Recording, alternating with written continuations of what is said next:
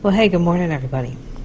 Jen Kravassi here from Jekyll Baits, and today I'm going to show you guys how I repaint a whopper plopper. It's one of the biggest questions that I get, right from do I cover the eyes, do I take the eyes out, how do you deal with the moving parts. So we're going to take you step by step on how I do a whopper plopper. Obviously, the first part is taking off these hooks. So we'll give you an example. Make sure you have split ring pliers. You're just going to do this. You don't have to take both off. You can take them off at the same time. Take the hook off with the split ring. It's a lot easier to put back on later. Looks just like that. Then repeat it with this back one. Now this is the actual river to sea, whopper ploppers. I use a lot of blanks that I get from overseas uh, and quite a bit of my stuff, but there are a few baits that come in blanks that just don't swim the same way as the originals, and this is one of those baits. Um, it's probably a whole lot easier to do a brand new blank for the plopper knockoffs, but again, it just it doesn't swim right, doesn't swim the same. Okay, we have now removed all the hooks from all 15 110 Whopper Ploppers. You'll notice they're all the same color. So there's a reason for that. I ask my clients to give me powder. This is the powder color. Comes just like this from River to Sea. Um, color number is 21 powder. All right, we have just removed the last hook off the last Whopper Plopper. We have 15 total. Now you can see that they're all the same color. This is number 21. This is the powder color from River to Sea. This is the 110. And the powder color, it's already primed for you, so it makes a very easy bait to repaint over. Uh, if you guys want to take a, a closer look, this is the color. Number 21 powder. So next up, we're going to get our trusty painter's tape out. We're going to do a couple of things. The first thing we're going to do is we're going to break this into a couple little pieces and we're going to put it over the eyes. I do not pull the eyes off. I just tape over the eyes. It's so much easier that way. So go ahead and do that. That's the first step. And make sure you get a pretty good seal over there. And then I don't have much of a fingernail, um, but what little I do, unfortunately, airbrushing is not conducive to growing your nails because there's always airbrush paint, and I it's just a pain in the butt to work with gloves on all the time, even the latex or the neoprene gloves. But as you can see, what I'm doing here is I'm carving out that indentation with my thumbnail. And that's also going to help keep that seal around the eye. Okay, so it's going to look just like that. Now the next thing you're going to do is grab, I like an X-Acto knife. Always make sure you're using a sharp blade. Um, I usually change my blades out about every week. But of course I'm doing I'm doing fairly high volume and productivity. It's not just one or two baits every couple of weeks. Um, I average between 20 and 30 baits sometimes every day. So I'm looking at it more from a quality and production standpoint than everything else. But you can see that the divots that I made with my fingernail, I am now going back and getting that squared away with this X-Acto knife. I do both sides before I pull that tape off. There we go. And just make sure that you get the tape cut all the way around this eye. Go ahead and pull that off.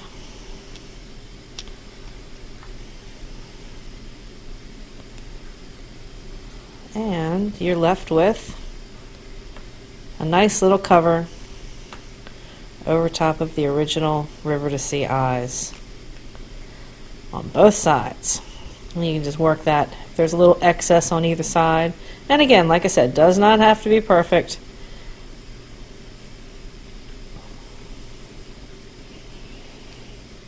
All right, now we've got the eyes covered. Now it's time to take care of this tail. Okay, for the next part, we're going to mask off the tail. I do not paint the tails, which is another reason that I prefer to get this particular color. And you, you can. I have before. Um, I just normally, if it's a clear tail, we're going to keep it clear. All right, the last piece that we're going to do is this tail, and that's what's going to keep it together because this will freely spin unless you hold it in place. what I like to do for that is go ahead and line this up.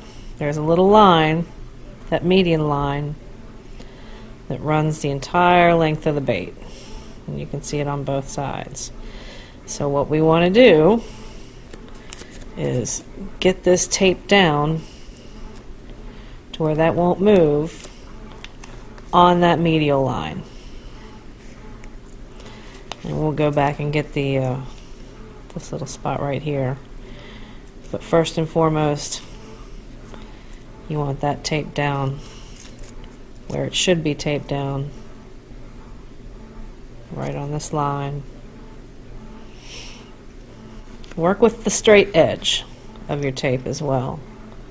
Uh, this is the tedious part, and it's probably the part that I'm going to spend the most time on, is getting this tape right on these whopper ploppers. Because, like I said, it is a very time-consuming process, and it takes about 15 to 20 minutes just to tape down one whopper plopper.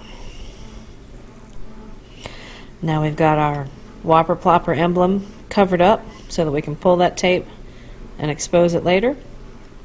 So we've got that done. We've got our eyes done. We have this taped up properly all the way around. This is now stationary. This isn't going to spin while you're painting it. That's what you want. And we're ready to put some paint on there. Let's go into the workshop. Now we're ready for the next step. The next step is, number one, determining what pattern we're going to put on this. Number two is applying the pattern. So I think uh, we've got a few to get through. Actually, we've got a lot to get through, but for this particular video, uh, we're going to use a craw pattern, and it's going to be hand cut stencil.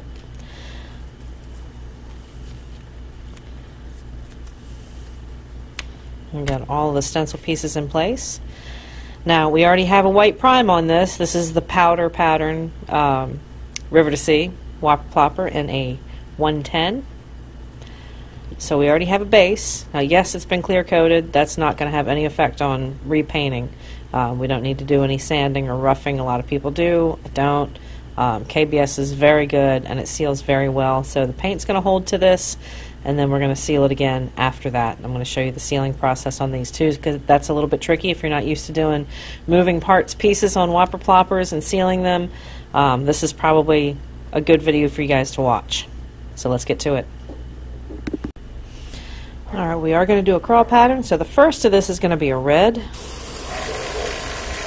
Going to kind of go over this in a random pattern.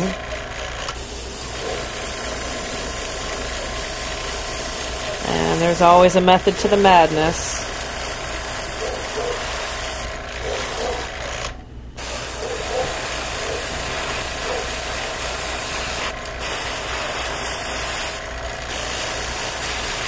So we have two of the same, and we're getting ready to lay in the Ozark green and a little bit of orange. We're going to model some orange into this as well. And once we put the pattern together, you'll understand the method to my madness. Ozark green into our cup, and when I say Ozark green, start with a leaf green. It's Createx transparent leaf green. And I've added a little bit of Wicked detail burnt umber.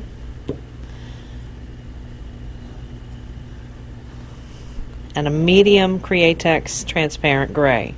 And that's going to darken it up just enough to where it's going to look a little bit more like a, an olive drab, uh, like like an army green.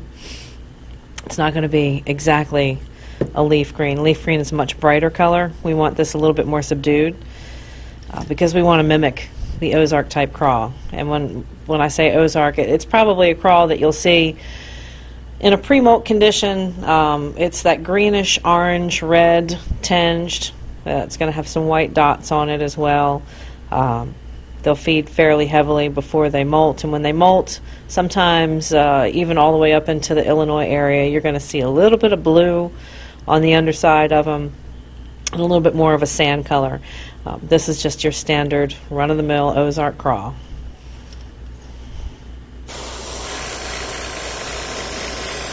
All we're doing, pretty much just filling in the area and blending because I haven't heat set.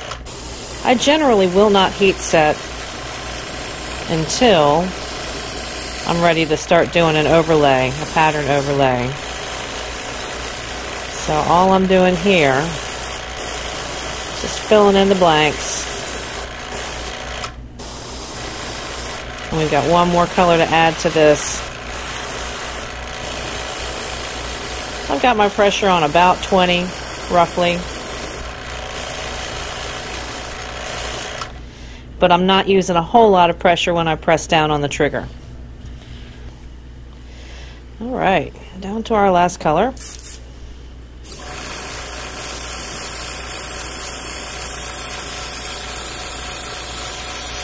This time it's going to be a much easier blend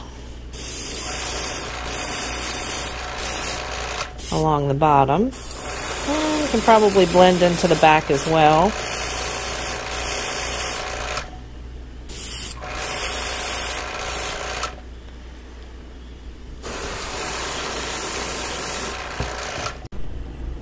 I've done a quick heat set on both of these, so I do have dry paint that we're working with now.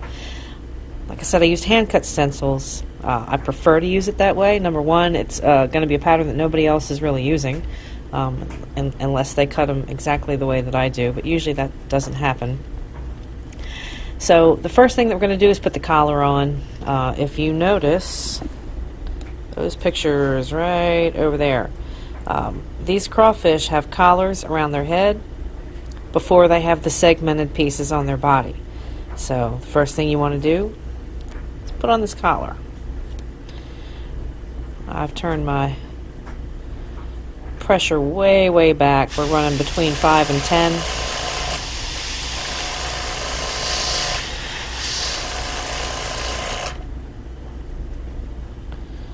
See, there we go.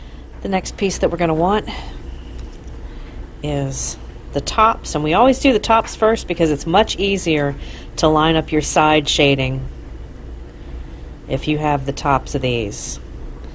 And we're going to go on the tail. And the trick to these stencils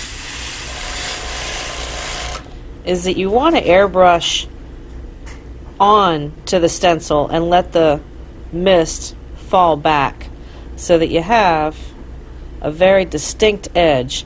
If you spray heavily off of this, you want to aim for the edge of this, but if you spray heavily off of this, it's basically going to look like a, a muddy mess. So that's another trick that you guys can use. And then you just want to keep that lined up. You don't need many. I've seen a lot of people try and do like five, six, seven lines. You really only need two or three. And that's going to give it a distinct pattern.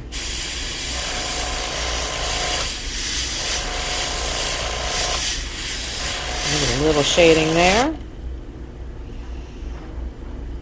We'll do it one more.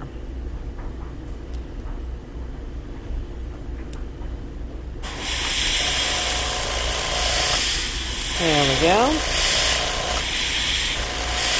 If you guys are noticing, primarily I'm spraying the back of this card and then you can see how that pattern looks. And it's got, I've got enough down on the sides to where I'm going to be able to line up when I go to do these sides. It's going to line up a lot better for me. It's much, much easier to get a, a good detail in. Next part is going to be the sides. And you can see that we've already come down a good ways. We want to continue the line in the same direction.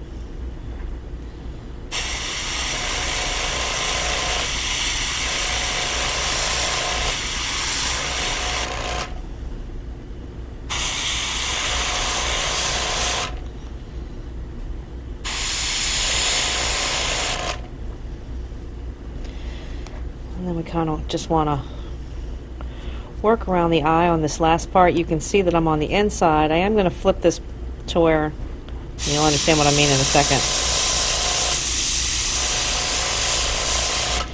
When we did the collar, the spray is on this side of the collar and everything else is on the opposite side. Really doesn't make a huge difference.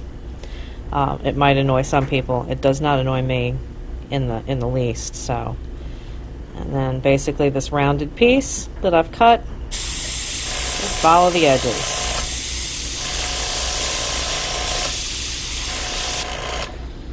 Come right down and do the same with the next.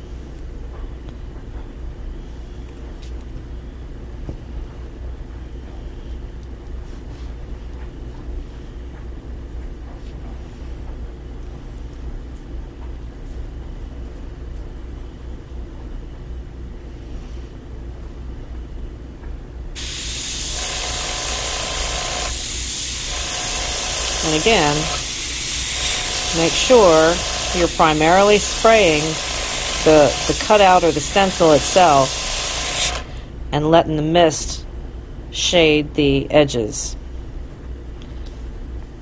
Now this last one, we've got a little bit longer of a distance between these two pieces, so we're just going to come down a little bit further, and I do have a wider one on here that we're going to use for this last piece.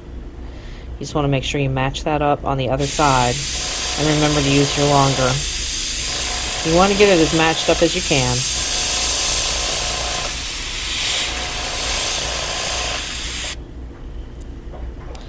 And now, one last little piece here. Go back to our short edge.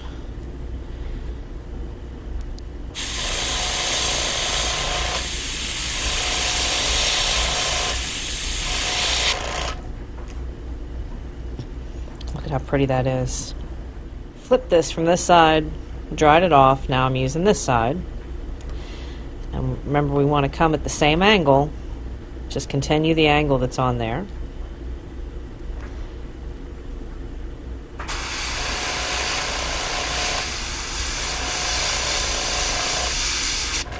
Just line that up.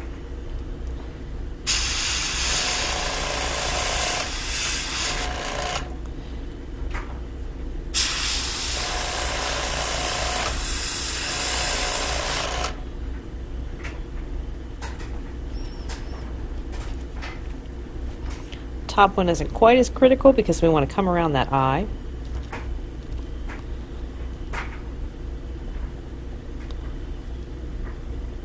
Just make that hook there. Kind of hook that around. Get that in. we're going to come down and do the exact same thing in a mirror image that we did on the other side.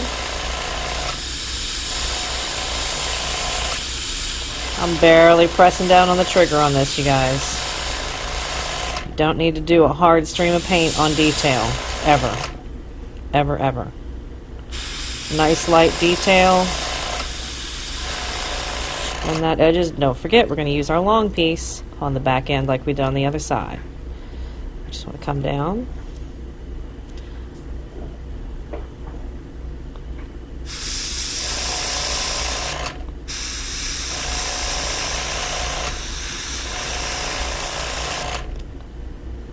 and one more little piece on the edge. Now there are a lot of really cool stencils out there that you guys can use.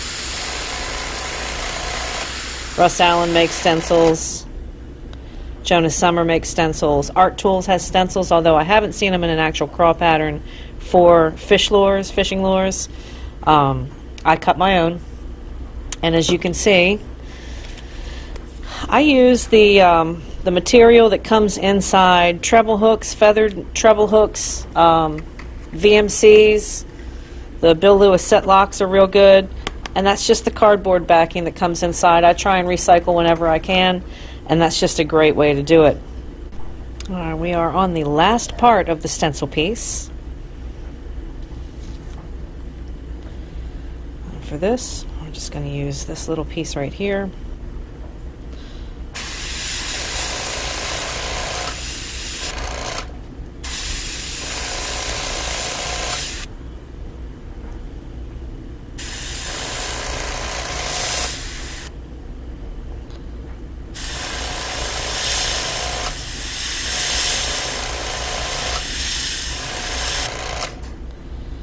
And maybe one more just at the tip of the chin of this bait.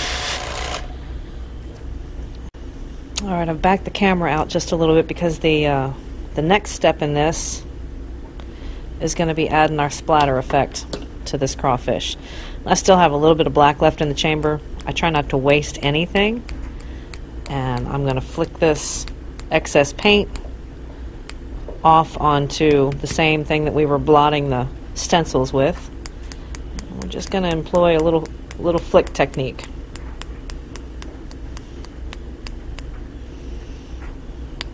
You can see that I've covered the area because I do have a lot of blanks left that are out that need to get painted here, so we don't want to cover them with splatter, especially before we've painted them, if it's unnecessary.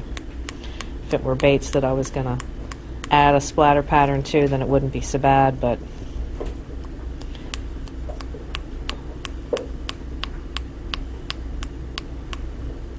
pretty much all we're doing, and the reason that we're doing this, adding a little bit of splatter, is to make it look as natural as possible. And this does help.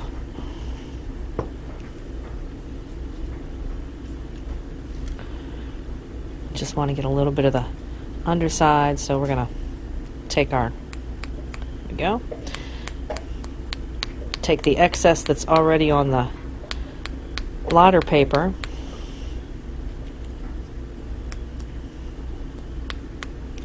Lay that right in.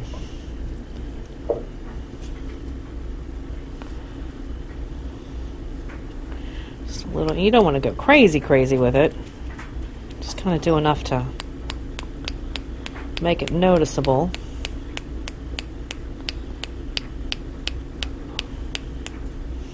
All right, there's the one.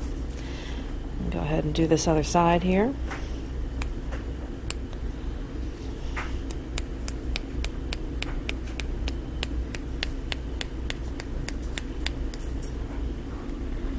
Guys, come on now. They got to be right where I am. Most of the time, that's flattering. Sometimes when I'm out here working at the bench, not so much.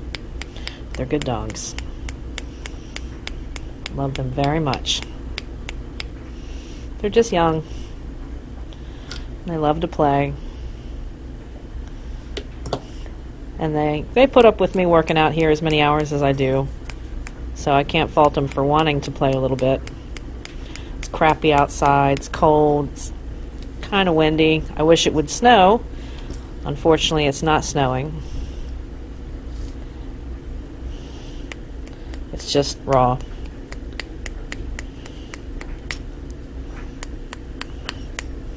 Okay, we're doing pretty good. We're just about done with our splatter effect here. Just finish a little bit left up here on the underside of this bait. And um, voila. Regarding the splatter technique that I use, what kind of brush I use. Um, nothing super special to this. Let me get the light a little bit better for you. I like a square tip, and it's got to be a stiff bristle flat, real thin, and then wider. Okay? The reason that I like that, and, and when I when I hold the brush, I'm holding the brush about like this, and I'm flicking on the metal head part of the brush. And I'm flicking about four to five inches away from the bait. You don't want to be right up on it because if you flick too hard, you're going to smash the top of this paintbrush into the bait and it's going to be a mess and you don't want that. So hold it back about that far. Again, four to five inches is perfect, maybe even six inches. And then just flick it with your finger as hard as you can against that bait. Now I went ahead and heat set this off camera for you guys. But now we're going to be on the, this is the last piece to the painting part of the jigsaw puzzle of this Whopper Plopper. And then after we're finished the detail, um, the next part of it is going to be clear coating. And a lot of people have asked me, and that's one of the reasons that I did this. I know I went ahead and I'm spraying the whole thing, so I showed you a crawl pattern. But I get asked a lot how to clear coat these. And that's going to be the last thing we show you guys. Since I've already heat set this, I've got some opaque white and a detail brush. And because crawfish, for the most time of their life on their hard shell, pre molt and post molt have little raised dots on their shells. So, what I like to do is just give this a random pattern.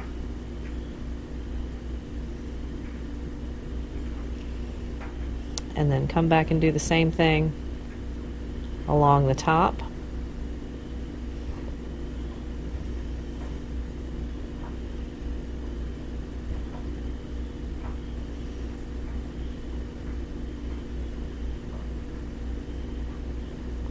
All the way back to the back.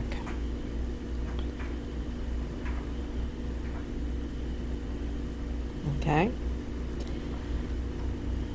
What that's going to do, that's going to add a lot of natural looking detail to this already natural looking pattern. And you can see now why I sprayed the base colors in the manner that I did. Because once you get that pattern on, once you get these shading stencils together, really pops. Going to give these a quick heat set, and then we're going to clear coat.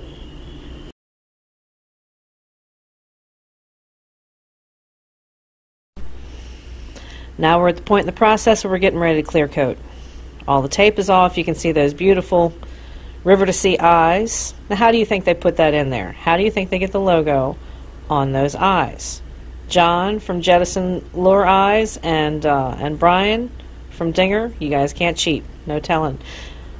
But leave me a comment in the section below. I want to know how you guys think that they put that logo in there. Now, those of you that have worked with lures for a long time and you guys hang your baits instead of putting them on a wheel, you know that most of the time you hang them nose up, tail down. You cannot do that with a whopper plopper because of the spinning part in the back of the bait. You have to hang it like this. So the best thing to do is to take your hanging wire. And uh, I'll show you guys what I use for hanging wire. It's basically just a 17 pound picture hanging wire. Crimp it, and we're going to dip the top part after we've brushed on our clear coat right here. Hold this in place. Brush this, get that tail. Don't put a ton of excess on there because this rubber tail behaves a whole lot differently than the rest of this does.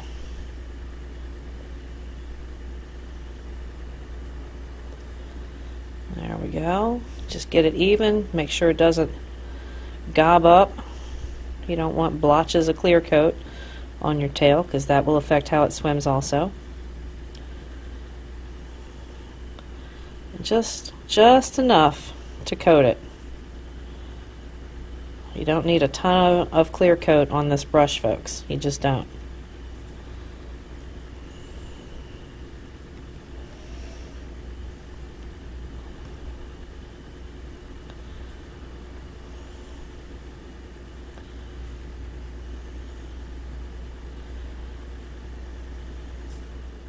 Now we're ready to put on our wire, crimp it,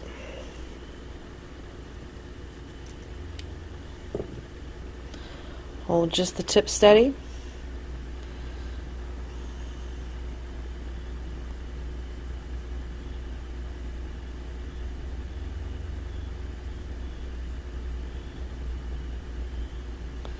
nice and slow. Kind of turn that bait. Make sure that you don't have excess clear coat that's gotten up in the top. Let gravity do its thing. Like I said, slow and steady wins the race with this one, folks.